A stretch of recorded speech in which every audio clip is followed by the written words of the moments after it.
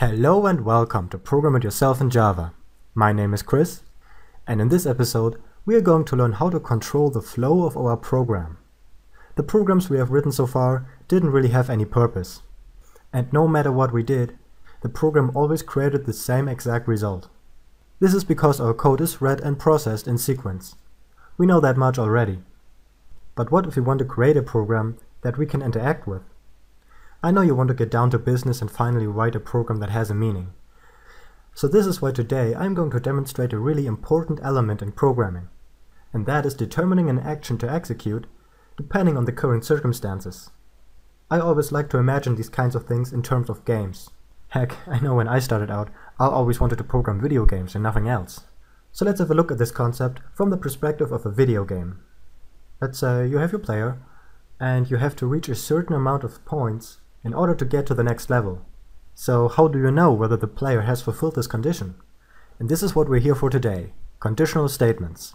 So let's keep this example going. Let's say we have a variable that stores the player's current score. And let's say he needs to reach at least a thousand points in order to advance to the next level.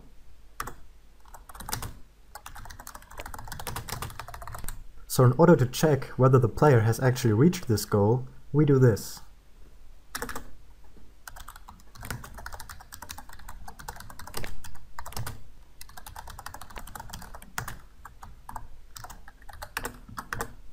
Okay, so what's going on here? In this line right here, we created a so-called if clause. It starts with the if keyword and is followed by an open parenthesis. Then inside, we write the condition that we want to check against, and close it with another parenthesis. And as you can see here, it has its own set of open and closed curly braces. So up here, we have the head of our if statement, and inside this curly braces, we have the body of our if statement. And everything that's inside the body of the statement gets executed when the condition is true. So let's go ahead and write a little message that pops up when the player wins our game.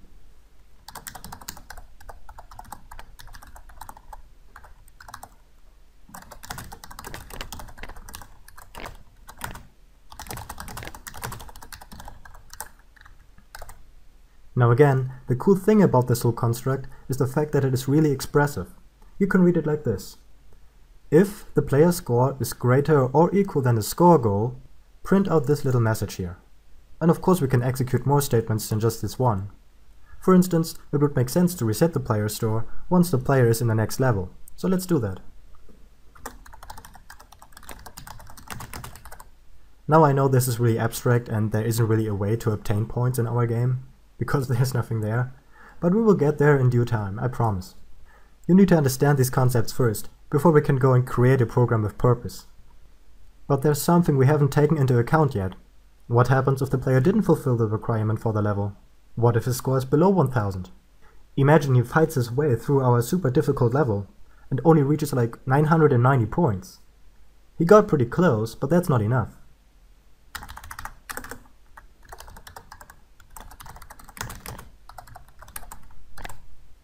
Now that's pretty depressing, but those are the rules of our game.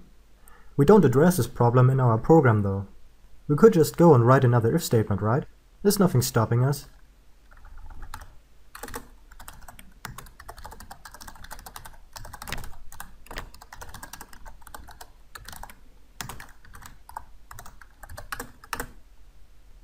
And then we could go and display a different message. By the way, a shortcut for writing system out println is to type in syso and then hit control and space on your keyboard. Just a quick FYI. So let's type up a message real quick.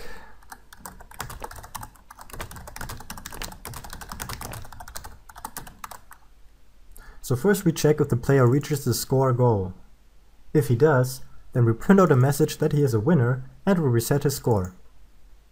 If he didn't reach the score goal, we will print out a different message telling him that he lost. So just for fun, let's test this out. At this point, the player's score is 990. So this piece of code right here should take place. And fair enough, we are ashamed to humanity. On our second try, we do much better and reach a score of a whopping 1500. So let's see what we get. Uh-huh, we are a winner and we still lost? Wait a minute, what's going on here? How can we win and lose at the same time? Well, check this out. Our player score is 1500, so it goes into our first if statement and checks if the condition is true. 1500 is indeed greater than score goal, so we go inside the body of the statement and execute the code. We print out the message and reset the player score to zero. Then we move on to the next statement, because remember, our code is still being processed in sequence. So we go to the next statement and check if the player score is lower than the score goal. And this is true, because we set the player score to zero right here. So by fulfilling this condition, we changed the value of the variable in question and therefore fulfilled this condition as well. So what do we do about this? Our only option would be not to reset the player score when the player enters to the next level. But that might not be our design choice for our game. Now, if we had all the game code right here, there might be an obvious solution to this. But for the sake of this tutorial, I am going to show you a way to deal with this kind of problem. I want you to take a look at what we have here. We have set up two conditions, and only one of them can be true at the time. Either we have enough points, or we don't. So we only want one of those blocks to execute.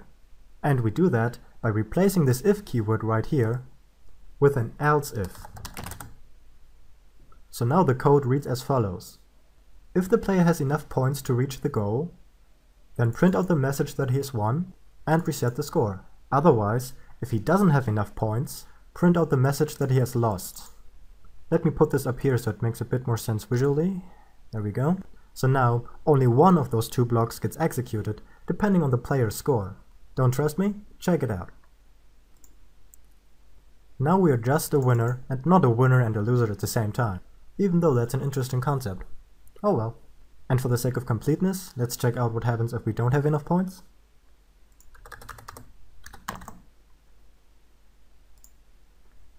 Yep, our program runs flawlessly.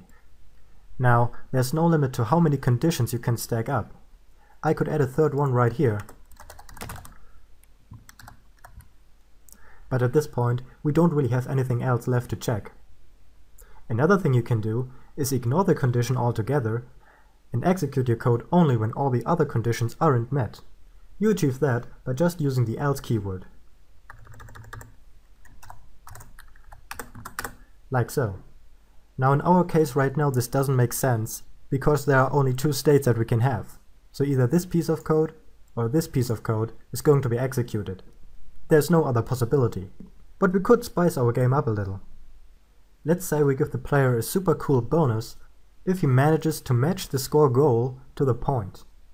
So if he goes above a thousand, he wins, if he goes below a thousand, he loses, and if he gets exactly a thousand, he wins and gets a bonus.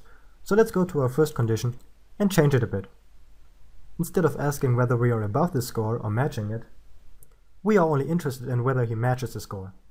In order to test for equality between two values, we have to use two equal signs. Like so. And this may be a bit confusing at first, but you will get used to it eventually. There is a difference when you use two equal signs and only one equal sign. Like I said before, the two equal signs check for equality, whereas one equal sign assigns a value. So right here we don't say player score equals 800, because that's not true. So if you think about it, at this point in time, player score equals 0. What we do here is we assign a value to player score, a new value in fact. So keep that in mind. One equal sign means assignment, and two equal signs means equality check. But anyway, back on topic. Let's change the message to respond to our new condition.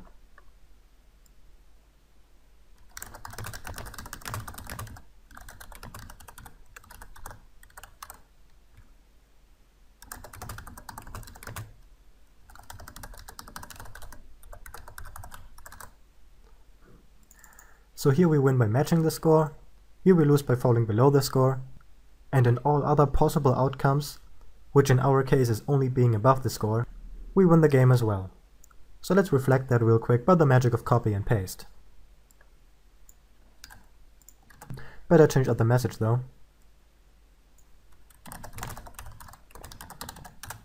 There we go. Now this might not be a prime example of demonstrating the else keyword, but I think you get the idea. The else keyword takes care of all the other cases that stand in relation to the condition in question. So let's say after we are done with the check, we have some more code going. Now I'm just going to put this up in the form of a comment.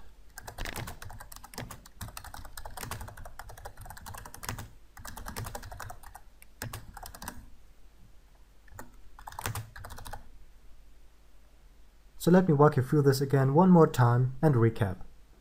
Some random guy plays our game and reaches a certain score. Now when our program reaches this point, it has three options. Depending on how many points the player got, the program will pick one of these options. The keyword here being 1. If the player matches the goal exactly, this piece of code gets executed.